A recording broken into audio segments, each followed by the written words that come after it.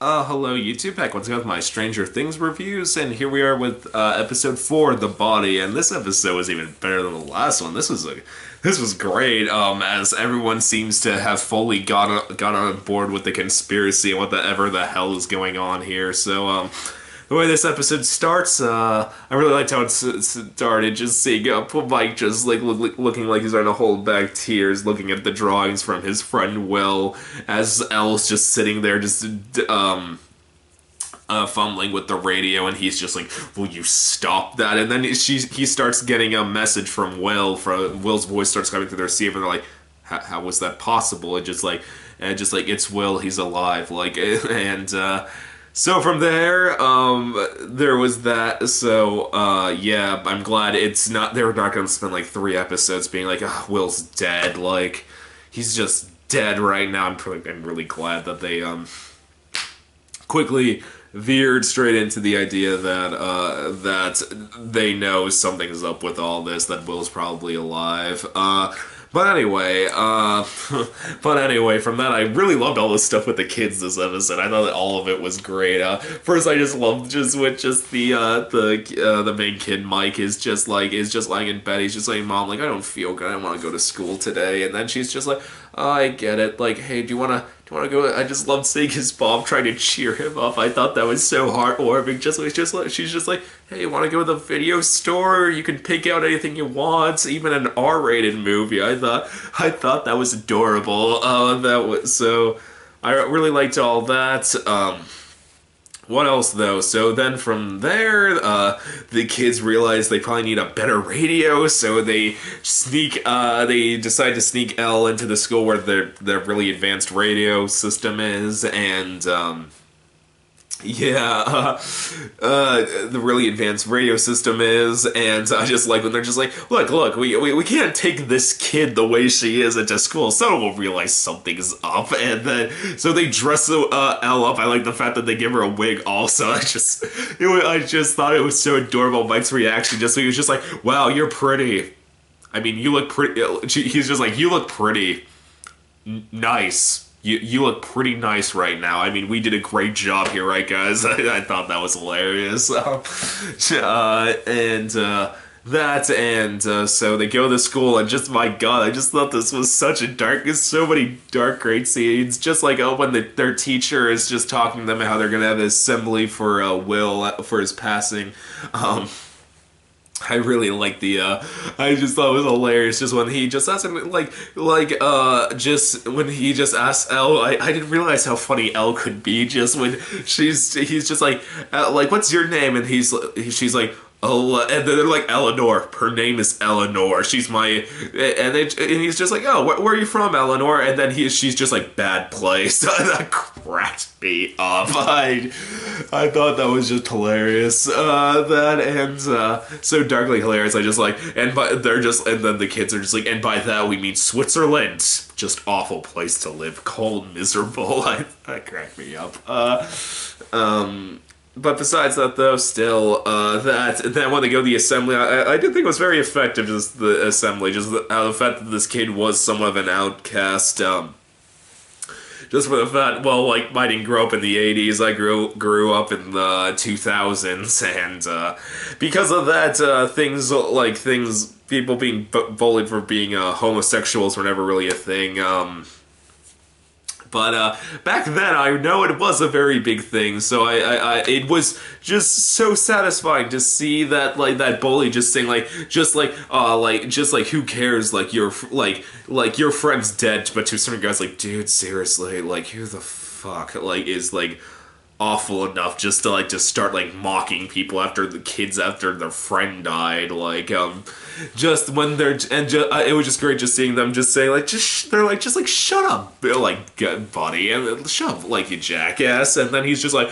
just like what? Like you should be happy like will's like a fairy with all his in fairyland now and so then ju- so it was just so satisfying just to see Mike first punch him and then just uh, the kid about to punch him back, but then El stopping her uh, him with his telekinesis, and then the kid just pissing his pants in front of everyone. That was that was great. Uh, always uh, always love when scenes like that happen. um, But anyway, so it's all led to them going back to the uh, to the radio, using it, and um, and uh, it was pretty creepy the message they got from Will, and then just when the thing just burst into flames, I did not see that coming. Uh, so that was pretty creepy and effective. Uh, all the other, the other stuff that happened this episode, uh, all the stuff with Nancy was really good this episode. Finally got away from her goddamn boyfriend. Um, now that like it's confirmed that her friend is missing and um,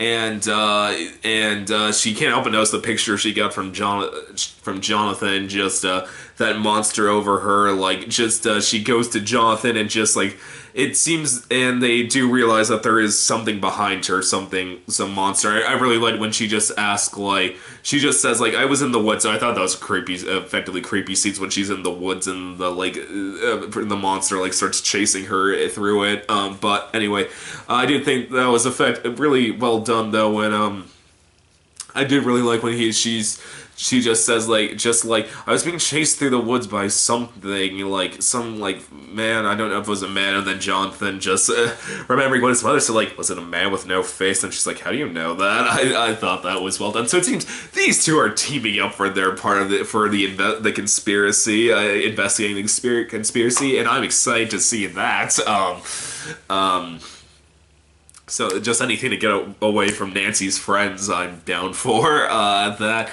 Um, what else though? Um, what? Uh, yeah. So yeah. Now, so they then they deal with the picture, and then they realize that uh, they that uh, that yeah, there's something staying behind her. So so yeah, like I said, seems they seems they are fully on board on the conspiracy now. Also, uh, the stuff with Winona Ryder was good. I liked her just saying like, "No, this kid's not dead." Like I saw a monster climb through the wall and him talking to me, and I did, I did like just how um, I did like how the sheriff like did not just like drop her off as crazy. Just said like, "Look, I know it's go, it's like to go through this like." It's hard like it's hard to accept it. Like i know you're gonna need time to grieve over it and uh, and um, i did like how noah just saying like you're just batshit crazy lady. You're just that like no they just they they just thought like how a good person should think just like uh, she they're just going through a grieving bad grieving so uh yeah, uh, still the, uh, still I just liked just how Noah Ryder just after a monster climbed through, which is like, through her wall. She just grabbed an axe and just sat there on her couch. I was like, yeah, that's what I would do in that situation. I thought that was good. Uh, now, finally, the stuff with the sheriff this episode, all that stuff was amazing this episode. Uh, for at first he thinks that the kid just died, but then like when all these like facts things start building up on one another, like how the coroner, like he's not allowed to see the body, like the coroner was not a guy from um, the re- regular morgue, and um, the uh, the people who dealt with it were like out of state, like the state uh, were uh, out of out of state police,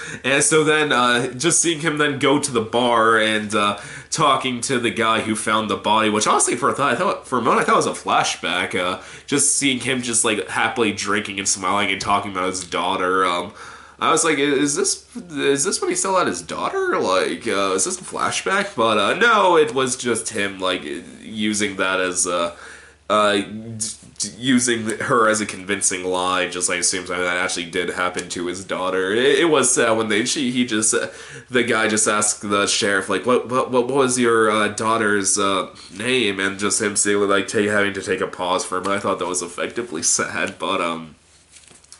Anyway, that was great. Just after the guy, after the sheriff was like, "So tell me, what do you really know about what's going on with the bot that kid's body?" And then he's just like, I'm not talking to you. Then just to see cut to outside and just seeing the uh, the sheriff just beating the shit out of uh, out of him for information. That was awesome. I was like, this this sheriff is freaking amazing. But he's basically like, yeah, I was just told to find the body. Like just like those guys. I'm like, what guys are like the like? Are they watching us in like the car? And then just seeing the sheriff just simply pull out his revolver and point it right at the car and drives away. That was also freaking awesome. So uh, I love this sheriff. Let me tell you. And uh, this all led to a really effectively creepy and dark ending in which um the sheriff uh, breaks into the morgue and uh, he get goes to the body and he pulls out a knife and he actually and he stabs into the kid's body and uh, instead of organs or anything like that being in it. There's nothing but stuffing, like white fluff stuffing, white cotton stuffing, and um,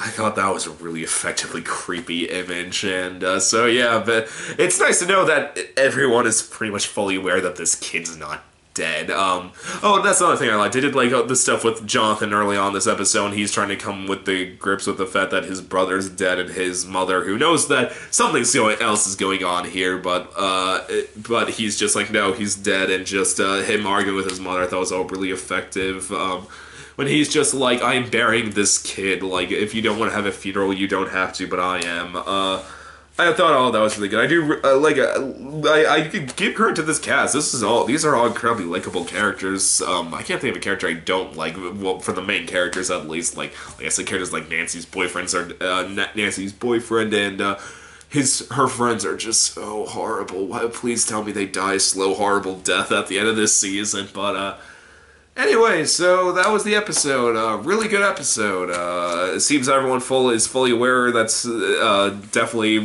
uh, some batshit crazy stuff is afoot, and uh, yeah, I'm curious to see how the, where the, how that develops. I, I did really like the ending of the episode though, just seeing the uh, sheriff drive up to the facility, the re, where the El and the monster came from, and just. Um, just uh, cutting through wires and like breaking into. It. I was like, so let's see what he finds in there. Oh, and another quick side note: uh, the scene where the guy in the facility climbs through what seems to be a portal. We now know what that giant pus wall thing on the stain on the wall is. Uh, it's a seems to be a doorway between one uh, our world and the monsters' world. Uh, I gotta say, this guy has a machine gun and he gets ripped to shreds in like five minutes, and that that girl, like Nancy's friend who was like eaten like one second.